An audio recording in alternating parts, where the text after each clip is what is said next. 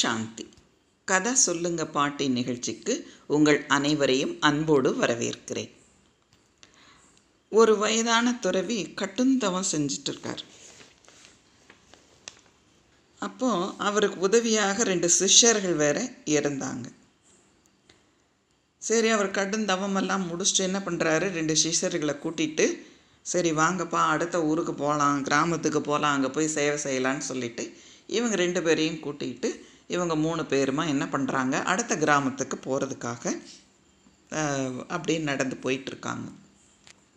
அப்போ வழியில் வந்து அந்த ஒரு அடுத்த கிராமத்துக்கு போகிறதுக்கு குறுக்க ஒரு சின்ன ஆறு ஓடுது. அந்த ஆறு பார்த்தீங்க அப்படின்னா ஒரு முழங்கால் அளவுக்கு தான் தண்ணி போகுது.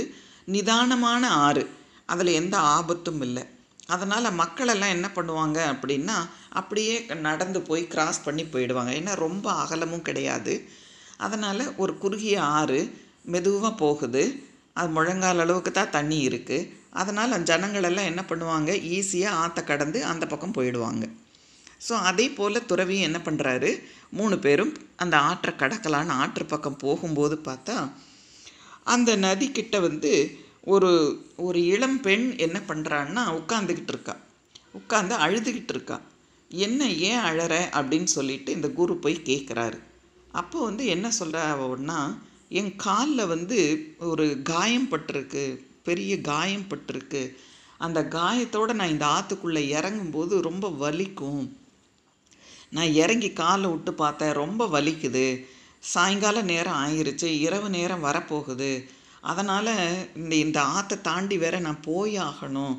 என்ன பண்ணுறதுன்னு தெரியல உதவிக்கும் யாரும் இல்லை அப்படின்னு அவள் அழுகிறான் உடனே இந்த குரு என்ன பண்ணுறாரு சிறிது கூட தாமதி தாமதிக்கலை.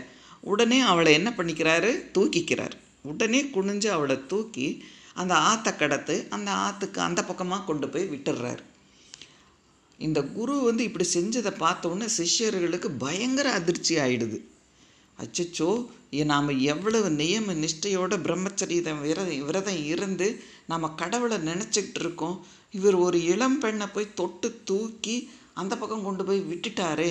இது என்னது நல்லாவே இல்லையேன்னு சொல்லிட்டு இவங்களுக்குள்ளே வந்து ஒரே மனசுக்குள்ளே ஒரு வருத்தம் வந்துடுது நாம் இந்த குருவை செலக்ட் பண்ணினது தப்போ அப்படிங்கிற மாதிரியெல்லாம் வந்து ரொம்ப வேண்டாதெல்லாம் நினைக்க ஆரம்பிச்சிடுறாங்க.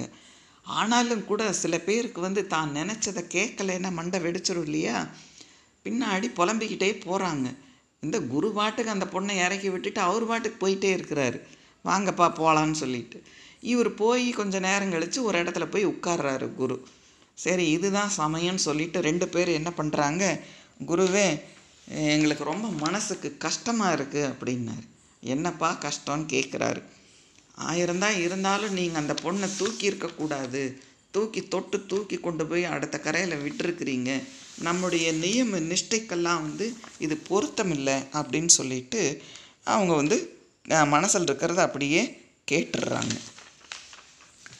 அப்போது என்ன பண்ணுறாங்க குரு சொல்கிறார் ஆமாம் நான் அந்த பொண்ணை கரையில் அப்போவே இறக்கி விட்டுட்டேன். நீங்கள் இன்னும் தூக்கிட்டு நிற்கிறீங்கன்னு கேட்குறாரு இது கேட்டோன்னு அவங்களுக்கு ஒன்றும் புரியல. என்ன குரு சொல்கிறீங்க நீங்கள் தான் அவளை தூக்கி வச்சு கொண்டு வந்து கரையில் இறக்கி விட்டீங்க. நாங்கள் எங்கே தூக்கினோம்? அப்படின்னு சொல்லிட்டு சொல்கிறாங்க நான் வந்து ஒரு ஆத்மா இன்னொரு ஆத்மாவுக்கு செய்யக்கூடிய உதவியை செஞ்சிட்டேன். நான் சரீரத்தை பார்க்கல. ஆனால் நீங்கள் என்ன பண்ணிட்டீங்க? சரீரத்தை பார்த்துட்டு எண்ணத்துக்குள்ளே நீங்கள் என்ன பண்ணிட்டுருங்க? இன்னும் அந்த பொண்ணை தூக்கிட்டு வந்துட்டுருக்கீங்க. நான் வெளிமுகமான ஒரு சிறிய உதவி செஞ்சேன். ஆனால் அதை நீங்கள் என்ன பண்ணிட்டீங்க? தவறான கண்ணோட்டத்தோட உள்ளுக்குள்ளே இன்னும் சுமையாக தூக்கிட்டு வந்துட்டுருக்கீங்க அப்படின்னு சொல்லிட்டு அவர் சொல்கிறார் அதாவது என்னன்னா நம்முடைய வாழ்க்கையில் பார்த்தீங்க அப்படின்னா வெளிமுகமாக இருக்கக்கூடிய சில விஷயங்களை வந்து தவறான கண்ணோட்டத்தோடு நம்ம பார்க்கக்கூடாது. சில சமயம் நமக்கு பார்க்கறதுக்கு அது தன் கண்ணோட்டம் வந்து எப்படி இருக்கும்? த செயல் வந்து தவறாக தெரிகிற மாதிரி இருக்கும். ஆனால் நாம் வந்து என்ன நினைக்கக்கூடாதுன்னா உடனே அதை தப்பாக எடுத்துடக்கூடாது எந்த ஒரு விஷயத்தையும் நாம் வந்து ஆராய்ந்து தான் வந்து அது சரியாக தவறான்னு பார்க்கணுமே ஒழிய கண்ணால் பார்க்கக்கூடிய சில மேலோட்டமான விஷயங்களை உடனே தப்பு அப்படின்னு சொல்லிட்டு முடிவுக்கு வந்து தவறான கண்ணோட்டத்தை மனசில் கொண்டு வந்து நம்ம பாரமாக நினைக்கக்கூடாது எப்பவுமே வந்து பார்த்தீங்க அப்படின்னா பாரம் அப்படிங்கிறது வந்து வெளியில் கிடையாது. மனசில் தான் இருக்குது ஏன்னா நம்முடைய உடல் அப்படிங்கிறது வந்து பாரம். உன்னோட வெயிட் எவ்வளவு அப்படின்னு கேட்கலாம். நம்முடைய வெயிட் வந்து இவ்வளவு கிலோன்னு இருக்குது அதை நம்ம தூக்கிட்டெல்லாம் நடக்கிறதில்ல. வெளியில் இருக்கிற வெயிட்டு வந்து நமக்கு என்ன தெரியாது? வெயிட்டாக தெரியறதில்ல. அதாவது உடலோட வெயிட்டு நமக்கு வெயிட்டாக தெரியறதில்ல. ஆனால் அத்தனை வெயிட்டை தூக்கிட்டு நாம் நடக்கிறோம். ஆனால் மனசில் எண்ணங்கள்ங்கிறது என்ன கிடையாது? வெயிட் இல்லை. ஆனால் எண்ணங்களை வந்து பாரம்னு நம்ம சொல்கிறோம் வெயிட்டை தூக்கிட்டு இருக்கோம். தலை பாரமாக இருக்குன்னு சொல்கிறோம் அவன் இப்படி என்னை திட்டான் எனக்கு ரொம்ப பாரமாக ஃபீல் ஆகுது. வெயிட்டாக இருக்கு எனக்குன்னு சொல்கிறோம் ஆக நாம் என்ன பண்ணுறோன்னா வெயிட் இல்லாததை வெயிட்டுங்கிறோம் வெயிட்டை வெயிட் இல்லைன்றோம். ஆக மனசில் இருக்கக்கூடிய எண்ணங்கள் பாரமாகாமல் பார்த்துக்கணும். வெளியில் இருக்கக்கூடிய விஷயங்களை எல்லாத்தையும் தவறான கண்ணோட்டத்தோடு பார்க்கும்போது நம்முடைய மனசு பாரமாயிடும். அதனால் அந்த துறவி சொல்கிறாரு ஒரு ஆத்மாவாக தான் நான் பார்க்குறேனே ஒழிய சரீரமாக நான் பார்க்கல. எப்பொழுது நான் ஒரு அழியாத ஆத்மா மற்றவர்களும் ஆத்மாங்கும் பொழுது நாம் யாருக்கும் எந்த ஒரு சரீர உணர்வும் இல்லாமல் நாம் ஒவ்வொரு காரியத்தை செய்யும் பொழுது அது இறைவனுக்கு செய்யும் தொண்டாகவும் நம்மளுடைய ஆத்மா ஆத்மாவுக்கு செய்யக்கூடிய சேவையாகவும் அது இறைவனுக்கு செய்யக்கூடிய சேவையில் அது சேர்க்கப்படுகிறது புண்ணிய காரியமாக சேர்க்கப்படுகிறது. என்னதான் வெளியில் நம்ம நியமங்களை கடைப்பிடிச்சு உள்ளுக்குள்ளே வந்து வேண்டாத எண்ணங்களை வச்சோம் அப்படின்னா அது இறைவனுக்கு உகந்ததாக இருக்காது. வெளியில் நாம் நியம நிஷ்டைகளை ஃபாலோ பண்ணலாம். ஆனால் உள்ளுக்குள்ளே நாம் வந்து வேண்டாத எண்ணங்களை வச்சுக்கிட்டு இருந்தோம் அப்படின்னா அது உண்மையான ஆன்மீக வாழ்க்கை இல்லை அது உண்மையான தவமும் இல்லை. அதனால் நாம் எப்பொழுதுமே ஆத்மாவிற்கு சுகம் சாந்தி கொடுக்கணும்.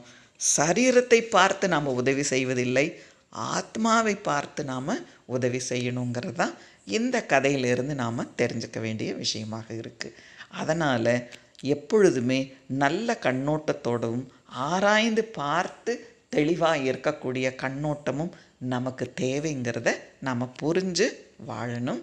நல்லது. மீண்டும் அடுத்த கதையில் சந்திப்போம். ஓம் சாந்தி.